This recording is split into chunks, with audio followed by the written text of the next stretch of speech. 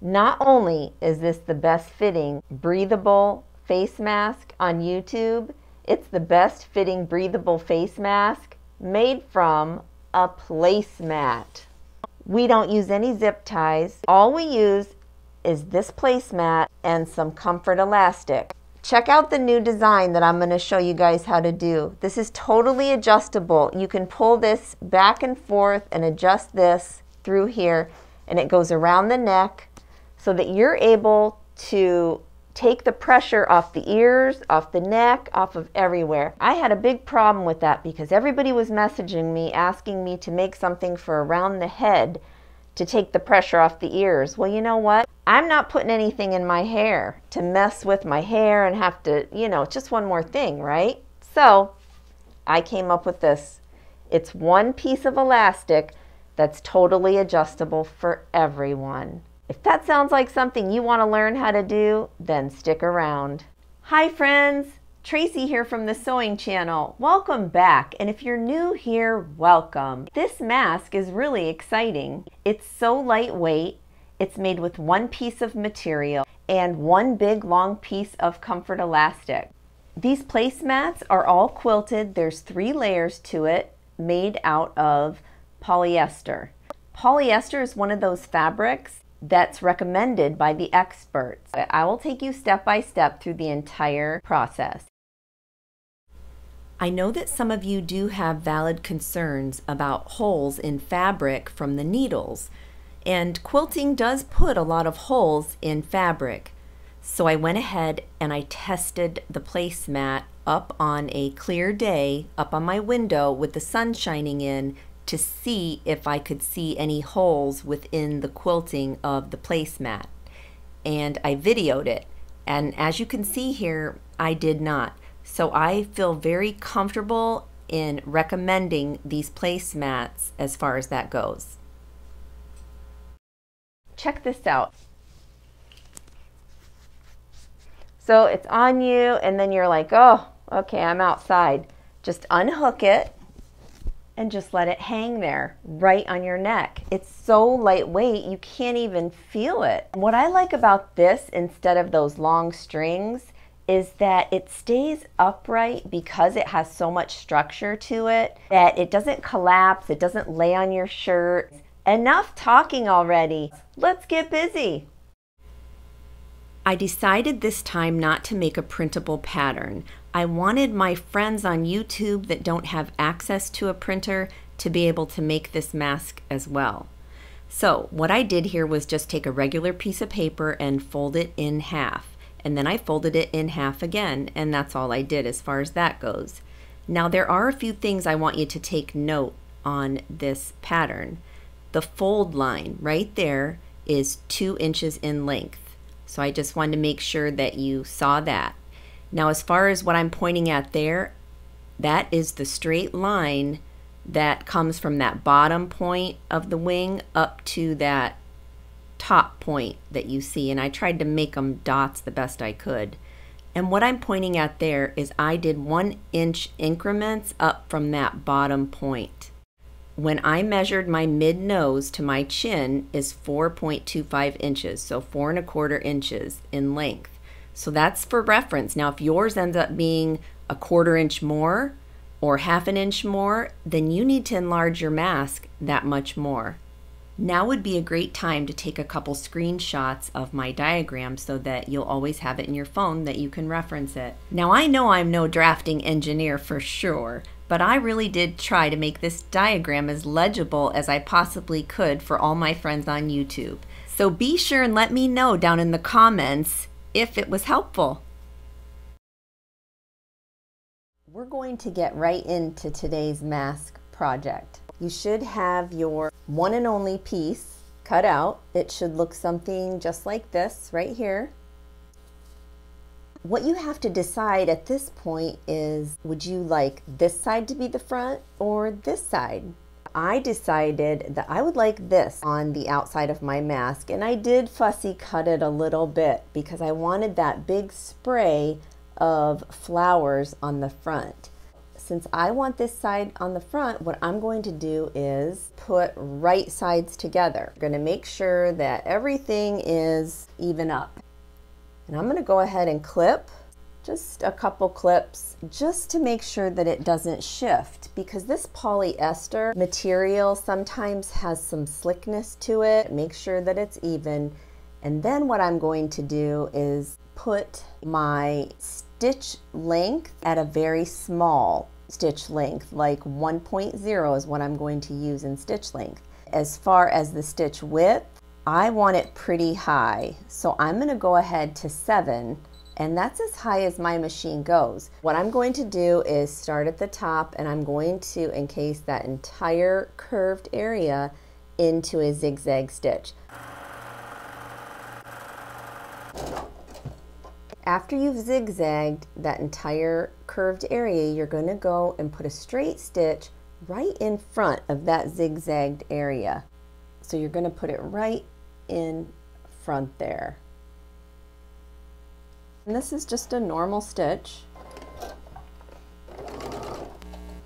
Be sure to back stitch.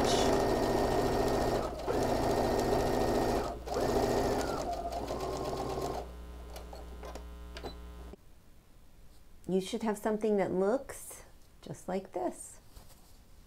That's all encased and that's not coming out. It's not going anywhere. We are going to use our ham, of course. I always make sure that I have my ham ready to go whenever I do a mask project. Now, since this is going to be an exposed seam, so you're just going to kind of push it how you want it or whichever way it wants to go, really. And then you're going to just take your hot iron right along the curve there. This ham is amazing.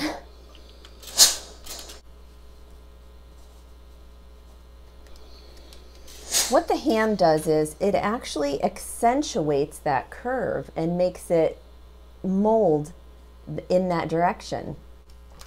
So I'm just setting the seam there, so to speak. I mean, look at that curve. No need for a zip tie with this one, not at all. The quilting actually pops it out and makes it 3D all on its own. The next step, find the center right there, measure one and a half inches from that center point over this way, and then you're going to mark it with your pencil. Just a little mark where you know that it's there. Now this is the bottom of the mask that I'm talking about right here. Now since the top and the bottom are both the same as far as measurements you won't have to worry about what is the top and what is the bottom. And then I'm going to go one and a half inches over this way. So you can't really see it, but I have a mark here and I have a mark right here. And that's exactly one and a half inches from that center point. The next step we're going to do, find that mark, which is right here. We're going to fold this wing up to where that mark is. So this is the right side of the fabric, remember. This is the one that's going to be on the outside. So find that mark, which it's right there. I don't know if you can see it or not. And then I'm going to pinch that. So I kind of pinch that close. And if I were to open that up and look, there's my line. So my line is essentially right in this crease right here. So I'm going to line these edges up so that that's flush. I'm going to be feeding it into my sewing machine this way. So I'm going to be starting here at the top and going this way through. So you would find your quarter inch, which is about right there. And then you would mark it just like that. We're going to go at an angle. So I marked that spot, right? And now we're going to, we need to go at an angle this way and we're going to go about about three quarters of an inch. So from that edge right here, we're going to mark here because that's three quarters. See, that's three quarters of the way down from that edge. So we're going to mark that right there.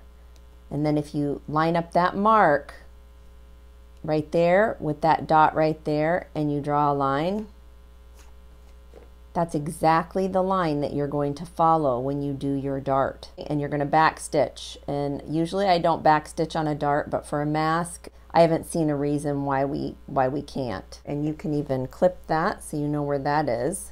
So I'm just folding that over toward like right sides together, pinching it. I'm going to be feeding it in the machine this way. I'm setting my foot here and my needles on this side and I'm just going to be sewing down. First thing I'm going to do is mark a quarter inch in and then I'm going down about three quarters of an inch. Depending on how round your face is, that would be a, an adjustment that you could make. You could go a little bit more hugging or you can go less hugging of the chin area and this would be the point where you would make that decision. So then I'm just going to line that up point to point and mark it. All right, now we're going to sew those darts up. You're going to take a couple stitches and then you're going to back stitch and then you're going to go forward again up to where that dot was, back stitch there, and then go ahead and release it. Okay, let's do the other side. So this is what you should end up with something that looks just like this. See, the chin is nice and curved right there. That's exactly what we want. This is what the inside looks like. You have those two pieces of darts right there. And at this point, you could probably go ahead and try it on your face so that you can see if it needs to be tucked even more or whatnot. The next thing I want you to do is go ahead and zigzag the entire top area and then this entire bottom area too. It's up to you whether or not you would like to serge your project or you can go ahead and zigzag it like you see me do here. Either way, I'm okay with either one of them, but it's up to you really. So now we're gonna go ahead and do the zigzag over here.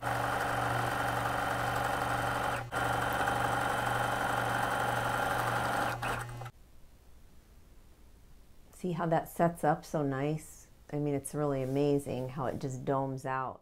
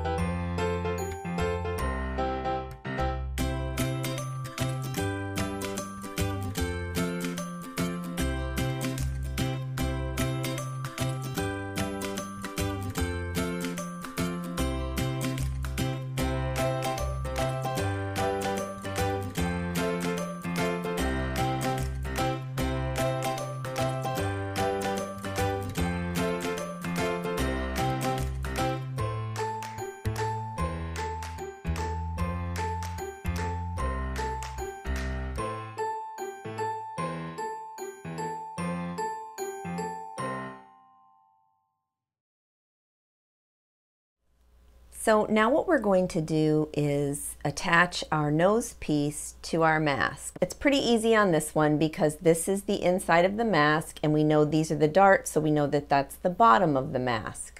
Find the center of the nose piece, which is about right there, and we'll go ahead and pop a clip right there. Now I also want you to notice here that I went ahead and I did end up serging the top and the bottom because I just wasn't liking what my zigzag looked like. So I had that other option, so I went ahead and I did that instead. We are going to take it over to our sewing machine with the cushion side facing us, not the wire side. We want the cushion side on our nose because the wire would be too hard on our nose. That would be uncomfortable. I'm going to do a straight stitch right across there, connecting these two pieces together. But when I do that straight stitch, first I'm going to start here and then I'm going to go back and then I'm going to go down this side and then I'm going to go back up that way go around and go down this side and back stitch there You see, I don't want this to flip up. And if it was only connected just to the top, it may have a tendency to flip up. So I hope that makes sense. I'm gonna go ahead and put my zipper foot on for this one. There's my zipper foot right there. It just helps me get close into the seam allowance without running over the wire that's in there. Okay, this is what you should have so far. And you see here how that's connected on the side? I actually didn't go down far enough on that one. I'll catch that later. Looking good. So our next step is to apply little sleeves, so to speak, on the sides, on the insides of each wing. So this is the inside of the mask. And so we are going to sew these in there. And I found this in my stash. Now I bought these, God only knows when, but they're vintage and they are iron on seam binding and I've never seen them before. I pulled it out and I tried it and it works amazingly for this project. Heat up your iron and we're going to make some sleeves. First off, it needs to be a little bit longer than the wing itself. So I'm just putting like a finger crease in there. See here, the glue? Or I don't even know what this is. It's like a bonding type thing on this, down each side, down that side and down that side. When you heat that up, it bonds to the fabric. It's amazing. Whatever it is, it's amazing. I'm gonna put that right like that, close to the top but just enough where you can still see that white threading. And then over here, I'm going to just fold that like that. And you're just gonna lightly, I mean, this stuff sticks, no doubt. Turn it over. So when we go to feed our elastic in this new way that I've been doing my elastic, it's going to go right down the center here because this is essentially that's all open in there. We are going to stitch these down. We're going to serge or zigzag the ends while grabbing that ribbon. So we're going to do the same thing over here to this one. And you can do this with any ribbon really. Take your cross grain ribbon and sew it down on both sides and you're done. Now that that's all tacked on, because that's not permanent, remember, that could still come off. So we need to sew that. I'm going to sew a straight stitch right there. I'm going to serge this end and this end, and I'll be right back. This is what you should have so far. The outside should look like this. There's that line of stitching. There's the other line of stitching. Here is the comfort elastic that I sell in my eBay store. It's the same stuff that they use in the hospital masks the surgical masks. It doesn't break when pulled and it just has a ton of stretch to it. Today I'm going to show you the new way that I've been attaching the elastic to all my masks. This is just a plastic weaving needle and you just don't know how much elastic a person's going to need. You can guesstimate on yourself, but you just never know because everybody's different. So here what I'm doing is first I'm weaving it through this way. So there's that part. So this is just one big piece of elastic right now. And we'll figure out the sizing here in a minute and I'll show you exactly how I do it. So we're going to weave two sides in. And we're coming up from the bottom and going up. That's important. Now the first thing I want you to do before you even fit it on yourself or anybody else, you're going to see this this is all like this. It's all just hanging. It's all just hanging here, okay, on the bottoms. And then the tops are like this. Those are the ends. What I want you to do is take this part right here, this loose edge, so it's coming through there. I want you to put it on the inside of the mask in the center of the mask. And then I want you to clip it so that's the first thing you're going to do. I want you to go and I want you to zigzag that right there. When you go to zigzag this on there, that elastic, do not come into this area. We need this to be free flowing at all times in that channel in order for it to be adjustable to everybody. So that piece is zigzagged in the center there. So I want you to watch something. See this? When I pull on this, you see how this gets smaller? That's what we want. If the wearer pulls on it and pulls on it and tugs on it, it's not going to get lost in there because see here, it's connected there. And we can just pull it back out like that. That part is connected. Now we've got the rest of this to deal with. So we're going to pull this up. So I want you to just see how this all looks first. So you kind of get an idea of what we're doing here. You see here, this is all connected. Before you come and loop this part and cut this and sew that in the center with the zigzag, you're going to try this on. And that's what I'm going to do right now. Okay, I hope I'm getting a good shot of this.